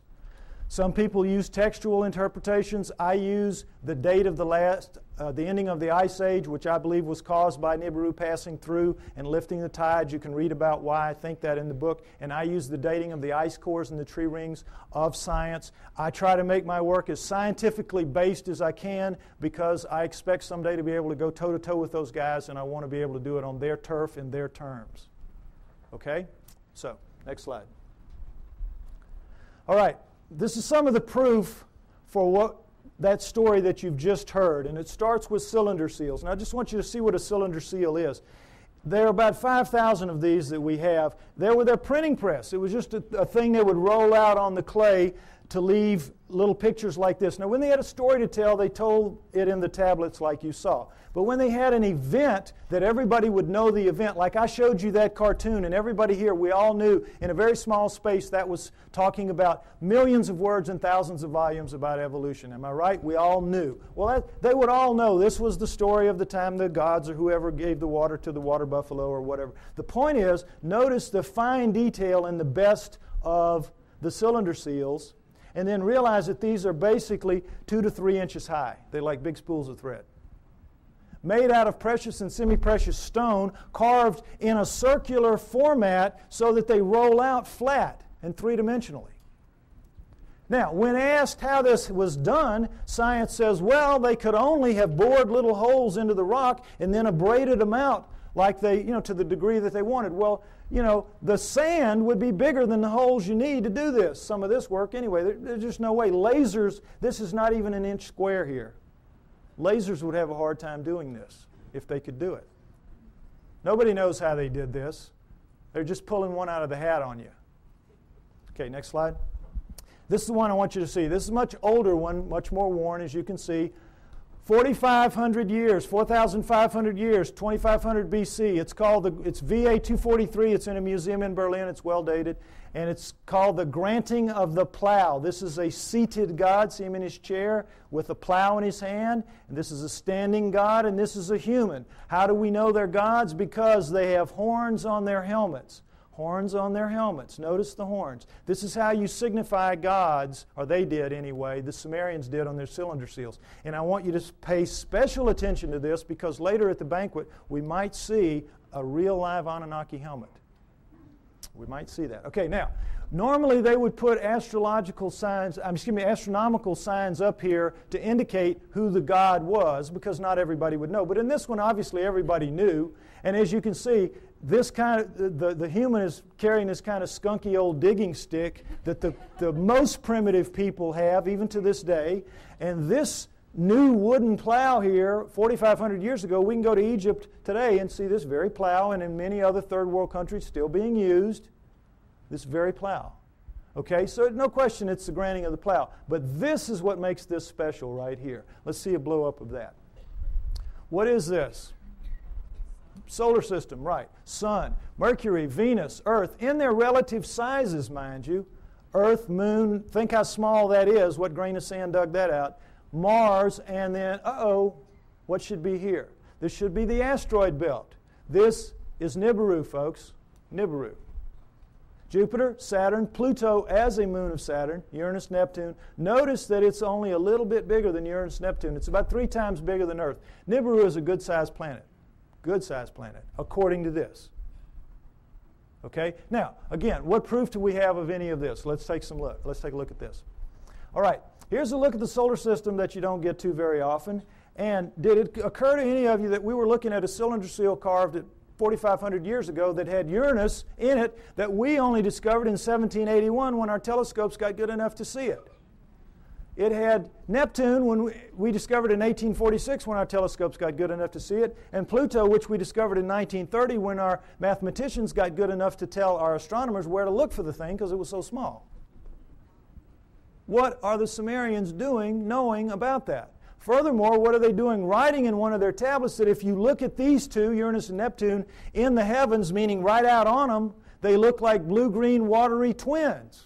When we didn't find that out, we thought they were just big old gas bags like Jupiter and Saturn until Voyager went out there in 86 and 89 and found that, lo and behold, they really are blue green watery twins. What the Sumerians said 4,500 years ago. Furthermore, they didn't count the way we do. Earth was not the third rock from the sun for them, it was number seven. So that means they were counting from out here and they were putting Pluto in its correct place. What are they doing with all that knowledge? Well, they make no bones about it. They say everything that we know, everything that we are, everything that we have comes from the people living on Nibiru. The people living on Nibiru came to earth and gave us everything that we have, everything that we know, our great culture. Now, what's the proof of that? Is there any proof that any ancient advanced civilization was ever on earth at any point in the dim or distant past? Yes, yes. The megalithic structures out there, the pyramids, Tiwanaku, Baalbek, Teotihuacan, Stonehenge, you name it. A couple of dozen of them. All of those are impossible for human beings to recreate today. And yet, we are told in another one of these great fantasies that they were somehow created by people in ancient times, ancient Egyptians or ancient Sumerians or anybody. Somehow way or other, they did it. And it's just absolute malarkey. Impossible. Now, some Egypt, next slide. Some Egyptian scholars tried to prove it by getting down in with some pink granite here and wailing away with some stones for a few hours and tore their hands up and walked out of there saying, Well, you know, we couldn't make much of a dent in it, but boy, you know, those old folks, they sure had a lot of time on their hands, and somehow they figured out a way to do it. Wouldn't give an inch after this. Wouldn't give an inch. It's ridiculous. Now, here's the stone they're working on. Next slide. Some of you may have seen this. This is an ancient 1,170 ton obelisk lies unfinished at the Aswan quarry. A crack rendered the stone unusable. It's pink granite. They were making it into an obelisk like the one you saw in Allen's slides. Okay? It's about 100 feet long, it's about 12 feet wide, 12 feet deep on the side. Imagine the Washington Monument, just squared off. And it's pretty much done. But now let's, let's move this from the Stone Age. Let's move it through the age of copper because copper wouldn't make a dent in that. And let's move it into the Bronze Age. Bronze will, will, will chip on it, bronze will take a little bit of it out. Now, let's put our bronze chisels or hatchets or whatever in the hands of some guys and get them down in this crack and put them to work. How do you think you're going to fare in there? Pretty tight fit. Plastic Man might have a tough time up in there. But the point is, they've got it pretty much done. They're working on the spire here when they break it. You know how it works. You press here, you get this. Well, look, does this look like somebody chipping away with a little hand? No. This looks like a belt sander taking pieces out the size of the chair you're sitting on. Huge chunks of pink granite, one of the hardest stones in the world, just being ripped out and they press too hard with whatever machine they've got here, and you know your physics, you get stress back here, and they popped it, they broke it. And they just said, whoops, we busted that one. And they just unhooked it and went somewhere else and left it for us to marvel at and wonder how they could have done it. But now let's go ahead and say they didn't bust it and they finished it. These primitive people now who managed somehow to do this. They finished it, it's ready to go. The hole, by the way, is about 15 feet deep. That's the top of it up there. But still, what's the first thing they've got to do? They got somebody's got to draw straws to get down there with his hatchet and cut it loose from the bottom. Now, who's going to do that with 1,100 tons sitting on top of him? We could not get our best diamond tip blades to cut through underneath this thing. The weight would stop the blade. We could not, the, word, the operative word here is impossible. We could not get this out of here. And yet they did it time and time and time again. To lift it out, just if we could somehow cut it loose, we would have to take a dozen of our largest movable cranes to wring that hole just to get it up. You're being lied to, folks. That's the main thing you got to understand. You're being lied to.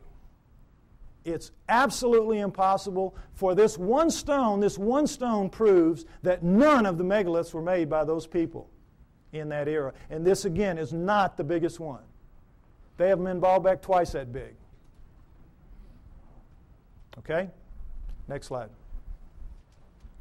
All right, what we're told is that the Anunnaki came to earth for this gold. mining gold.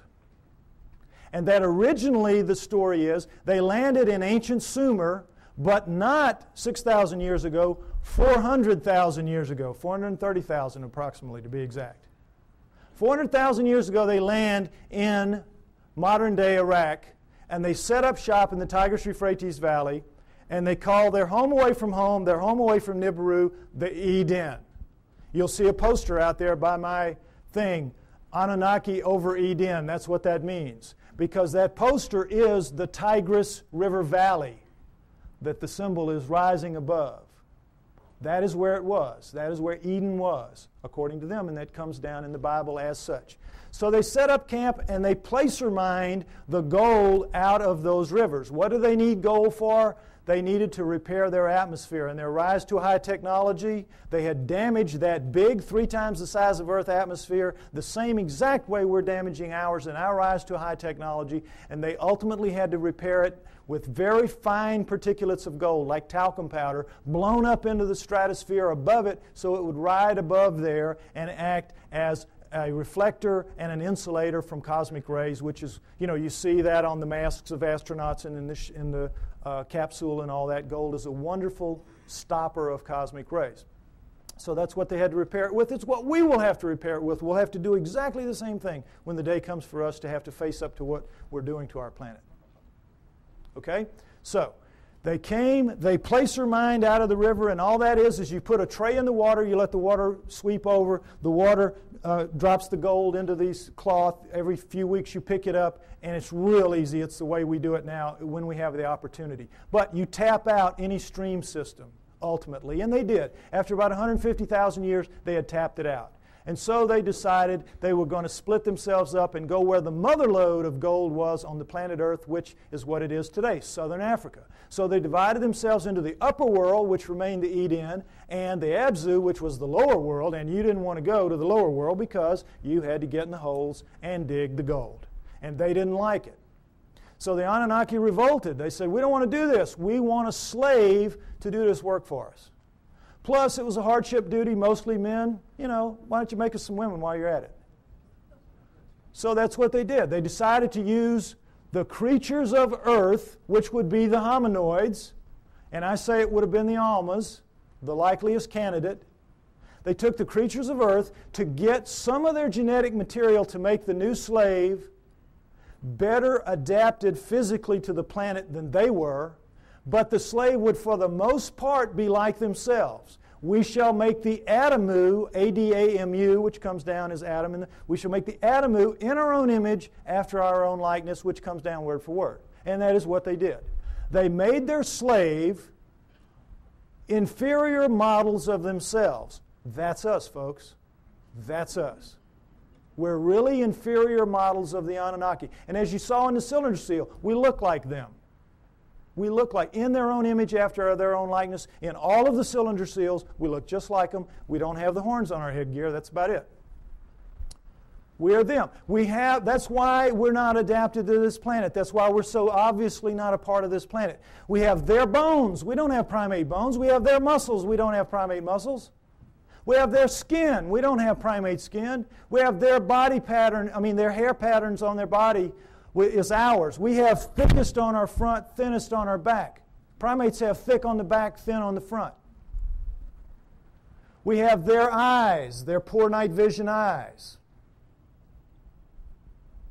We have their foreheads. We have their brains. That's the key to this. We have their brains. That's why we're not like anything else on this planet. We are them. We are genetically engineered copies of them. Okay, next slide. Let's take a look at how that was done.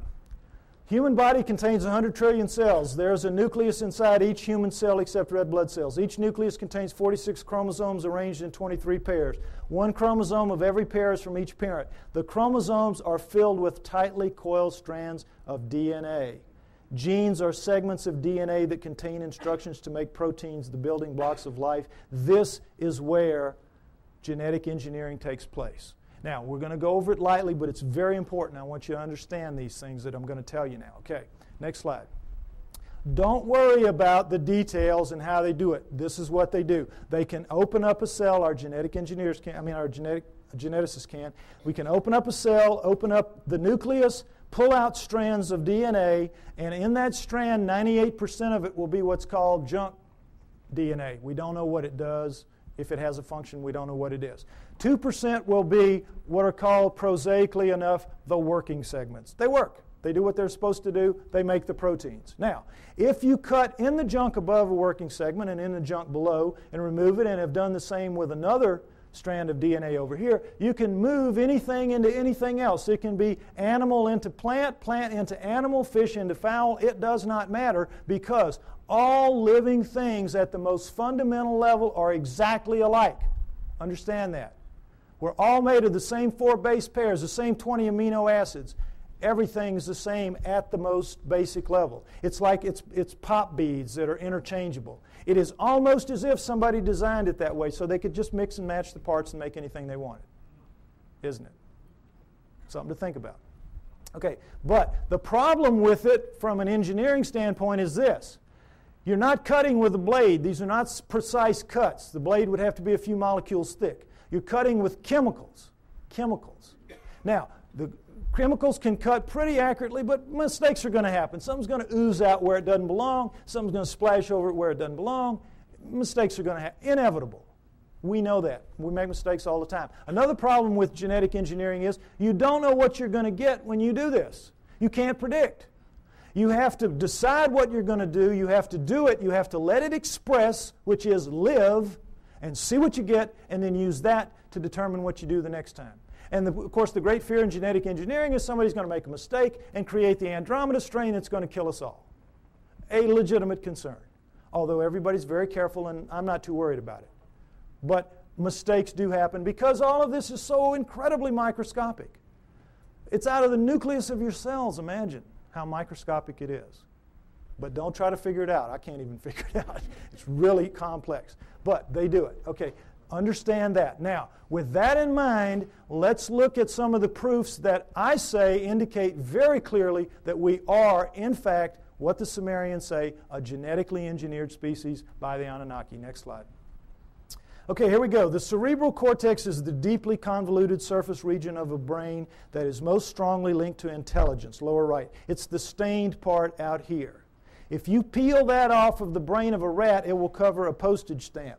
Peel it off of a monkey, it'll cover a postcard. Peel it off a chimp, it'll cover a sheet of typing paper. Peel it off of us, and it'll cover four sheets of typing paper. Now, you can see this is a transition. This is clearly a transformation. Now, there's some weird things about it. These guys are using all they've got. All they've got. We're using one half of one page in a very different way than they are using what they have.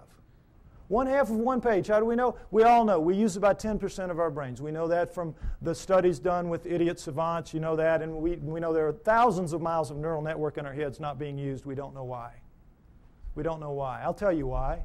We shall make the Adamu strong but not too strong, smart but not too smart. They sealed it off genetically at the 10% mark or wherever it is. We don't know exactly where it is. But wherever it is, they sealed us off. You don't want your slave to be anywhere near as smart as you. You, in fact, want your slave to be so decidedly inferior to you that you never have to worry about treating it like a slave. So they engineered us to be really clever to ourselves, but for them, we were smart enough to talk, take instructions, act with a little bit of ingenuity and self reliance. They could turn things over to us and kind of let us take over and do it. They gave us just enough to be wonderful in our own eyes, but be pond scum relative to them. it's what they did. So, it's pretty clear in as much as that, and now understand with the idiot savants, for those of you that don't know the proof about this, Idiot savants get some beam of light in the damage to the good 10. They get some beam of light and it will strike somewhere in the other 90%. You all saw Dustin Hoffman in Rain Man, remember? Well, they get it in math, they get it in music, they get it in sculpture, art, whatever, wherever it strikes. Now, if there's just one, we could say, well, that's a freak of nature. But we've had lots of them, lots of them. So we know that all of this is out there, it's in our heads. We just can't access it, we just can't use it. But if it wasn't in our heads, it wouldn't be in their heads. So we know that it happened. We just they have no idea how. Well, I say that the Anunnaki did it deliberately, and that makes sense to me. Next slide. Okay, mitochondrial DNA, late 1980s, you might remember this. In humans, over 99.99% of a cell's DNA is packed into the cell nucleus with a small amount occurring outside the nucleus in small structures called mitochondria. That's these babies right here. They're about 16,000 base pairs long. Now, when you have a mixing and a mating, eh, the, the DNA in the nucleus mixes. Mixes. But with the mitochondrial DNA, it does not. Sperm doesn't have mitochondrial, eggs do. And so females pass it down intact generation after generation. Well, when this was figured out in the 70s, boy, the, the, uh, the botanist and the uh, geneticist said, Great, great. Now we can go and find out if the split from the common ancestor was closer to 8 million years or closer to 5 million years. Remember that? We're going to now pin it down. It's going to be one or the other we're going to figure it out. So they went out and they took the mitochondrial DNA of women all around the world, every race, every creed, every culture, every country, and they brought them back to the lab and they started working on them. And when the answers came in in the late 1980s, it was not 8 million years ago. It wasn't 5 million years ago. It was way, way, way the heck down to 200 to 250,000 years ago, and that's all. We don't exist genetically beyond 200 to 250,000 years. And of course, needless to say, the anthropologist said, You guys are nuts. We've got these skulls showing, these bodies showing, these prehumans showing that we go back millions of years. What's the matter with you? And the geneticist said, We couldn't have been wrong that many times. Impossible. We'll do it again. And they have. They've done it. It always comes out the same 200, outside 250,000 years ago. That's it. We're brand spanking new. Brand new on this planet. Now, there's still a lot of people, thanks, there's still a lot of people that will not accept that. A lot of people that will not accept that. But it is true, and it is becoming more and more acceptable for as outrageous as it is. Now, not only do we know when we were created, we know where. Where? Because the oldest of us consistently kept coming in in southern Africa. Next slide. And in fact, the cover of Newsweek in 1987 showed that if in fact there was an Adam and Eve, they were black. They would have to have been black. But of course, they knew the flack they were going to catch in the South, at least, so they made the blacks look as white as they could. this guy looks almost as white as OJ, doesn't he? But the point is, in trying to have it both ways, they caught it coming and going because you can imagine the, the letters to the editor after this issue. But the point is, it tells the truth. The oldest of us do come from southern Africa, and we definitely are 200 to 250,000 years old. And guess what else? That is just what the Sumerians say about us. That the Anunnaki created us around 200 to 250,000 years ago in southern Africa to dig their gold. What a coincidence. What a coincidence. Okay, next slide. Okay, what happens when a creature is born in the wild severely screwed up physically? What happens to it? Dies, right? Parents will kill it. It will not put that defect into the gene pool. You're looking at the great exception. You're looking at 28 of our severe, I mean, of our most severe genetic defects, but we have 4,000 and counting. 4,000 and counting. Now, we're only 200, 250,000 years old. We shouldn't have one. We've got 4,000 and counting. How did it happen? Cutting and splicing process mistakes. Cutting and splicing, oops, made a mistake. Cutting, splicing, oops, made a mistake. They don't care. They're making a slave. They're not going to fix the mistakes. What do they care if it's one in a hundred dies from the problems? If it's one in ten, they don't care. They're making a mistake. I mean, they're making a slave but they know the numbers like we have found out the hard way. If you let, if you let the pop- population propagate naturally, those numbers go way down for each person. Right now, as we sit here, we average about 50 of the 4,000 each of us. And we have a mating with our mate. If we share any of those 50, then each of our offspring will have a 1 in 4 chance of expressing it. That's why you'll get mongoloids in the best of families, mongoloids in the lowest of families, and all around the world. And that's what genetic defects are.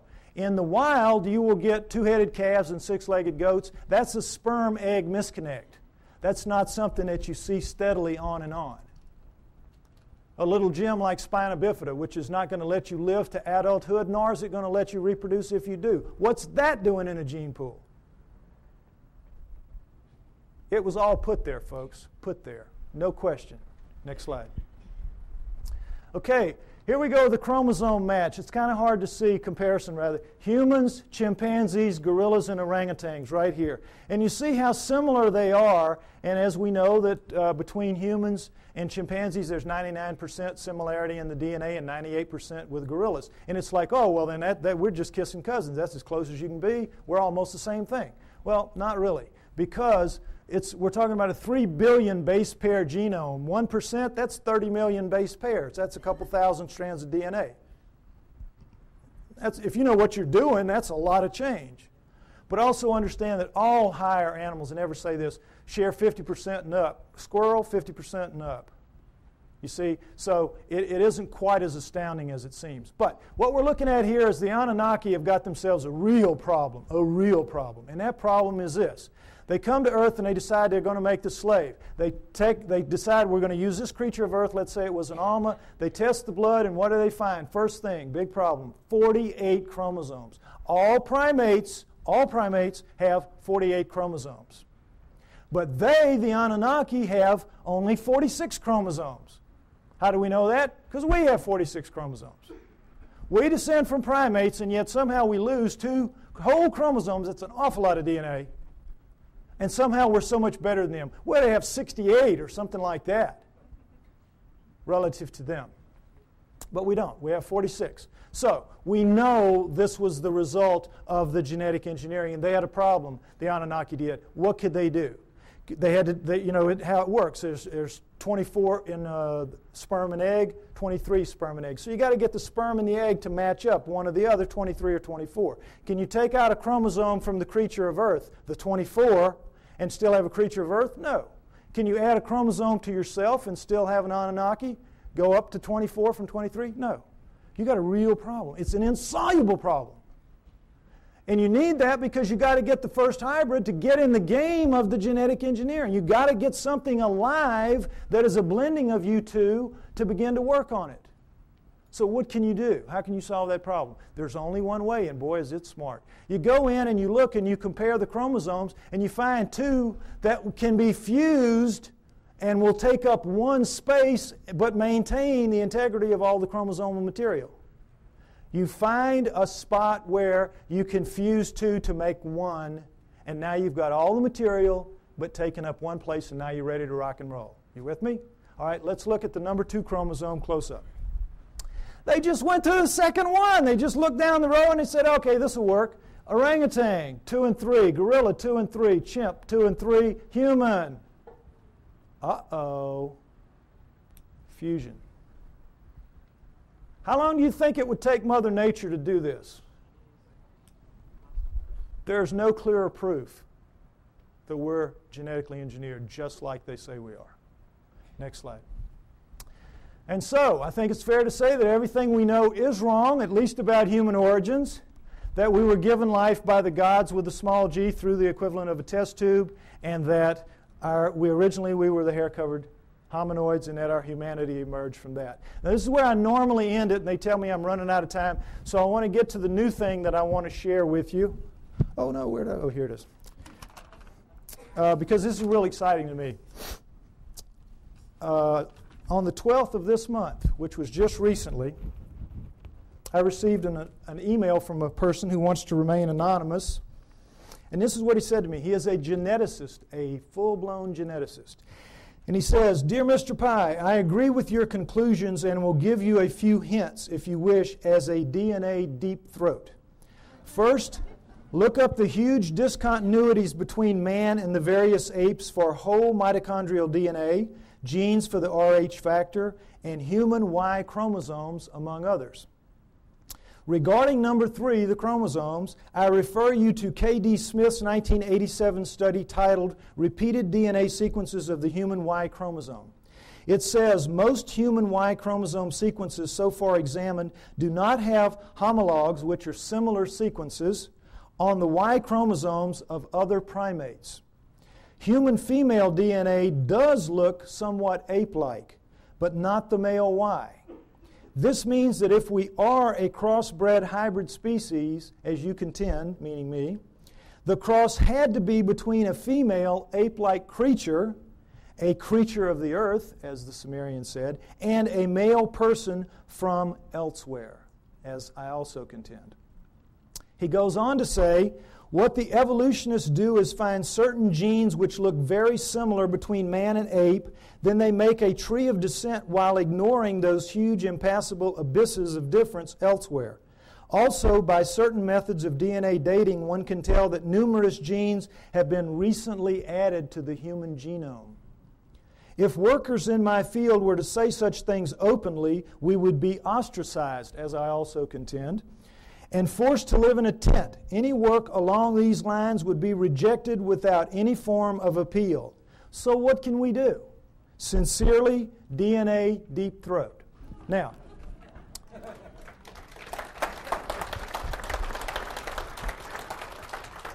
what this means, thank you, what this means is we win.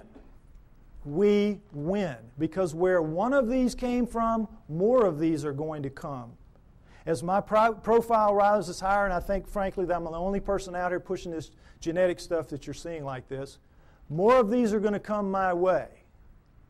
We're going to win. You've seen the evidence. Now, we're right now we're getting our brains kicked out. We are getting our brains kicked out. That's why we're called the fringe. And the reason is we keep mounting these frontal attacks on the establishments. And every film that we produce, every photograph, every sighting, every testimony, every capture, every, uh, every encounter that we have, and we throw at them with the best intentions. Our word is truth, is it not? Our word is it's true. It's true. And their word is what? Liar. Liar. They dress it up. They say, well, you don't know what you're talking about. You don't know what you're seeing. You made a mistake. It was swamp gas, whatever. They're basically standing there and saying, you're just a bunch of liars. We're right and you're wrong. And because it is our word against their word, our word truth, their word liar, their word wins. Day in, day out, year after year. It's very frustrating, is it not? Boy, it just annoys the heck out of me. But what this means is we're going to win in the end. Why? Because the genes say so. The genes back us up. And right now, this is not a field that you're very familiar with. And I've worked very hard to make this very simplistic so you could understand at least the fundamentals, and it's the same in my book. You need to be aware of this is because this is the back door, kids. This is the back. We're not going to storm them from the front. We've been doing it for years. They know how to deal with us. Our word against them, we're going to lose. But in this instance, the genetic end of it, what is it? It's their word against them. It's their research against them. They're going to lose. We're going to beat them with the genetic evidence. We got to beat them. We will beat them. We know we're right. We know they're wrong. They know they're wrong. They know they're wrong. We just have to get mentally tough and accept that this is a war, this is a fight. This is not, gentlemen, Marquis de Queensberry rules. This is a dog fight, this is a knife fight. And you all have got to get out there and proselytize. You have to familiarize yourself with these basics at least.